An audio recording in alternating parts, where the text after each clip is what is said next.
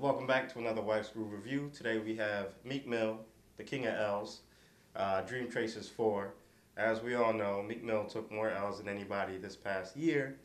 And finally, we get the long-awaited Dream Chasers 4.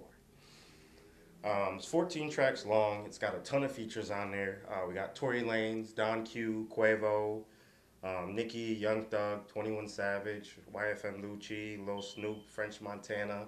Um, so there's a ton of features on here. Let's just jump right into it. Uh, this project, to be honest with you, it's nothing special um, or different than any of the other projects he's put out. Um, the content's still the same, you know, that street shit, that drug shit, just being braggadocious and flossy and talks about his Rolex and his Wraith throughout this entire project. So you're going to get a lot of that standard Meek Mill bragging BS.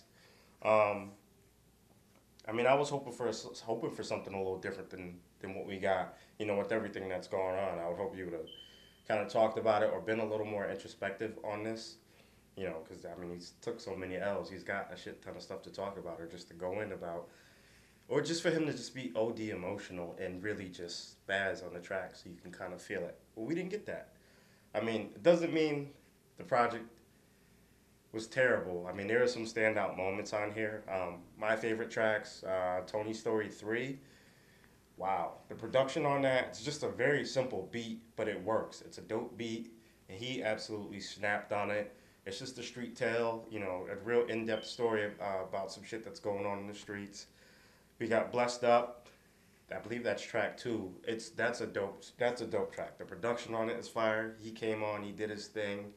Um, another track I like, I think it could have been a lot better, was um, Blue Note. The production on that was absolutely bananas. The strings, the whole uh, jazz blues type feel that it had going on.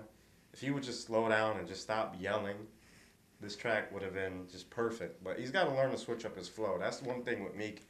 You get the same flow, same delivery all the time. If he switched up his flow, it would make things a lot more interesting and probably make you want to listen to him more. I mean, because honestly, like just listening to his stuff, it's the same thing over and over.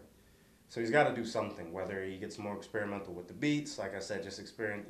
I think he should just work on his delivery and flow and stop yelling. Like that high pitched yelling on the tracks, it gets annoying very fast.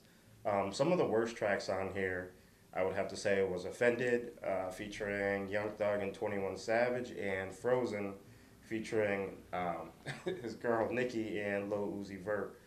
Um, those were two of the worst tracks. Just the, the bars that Nicki spit on Frozen were just absolutely just struggle bars all the way through.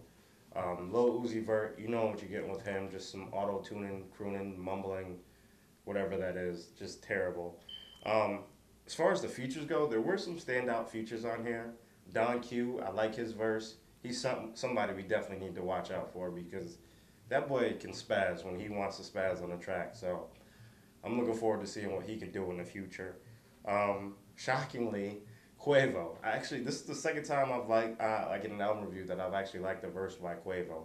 He had a dope verse on that T.I., um, Us or Else album, and then on this Meek Mill project, he puts out a, he has another dope verse. So I can't knock Quavo. The verse is dope, the verse is dope.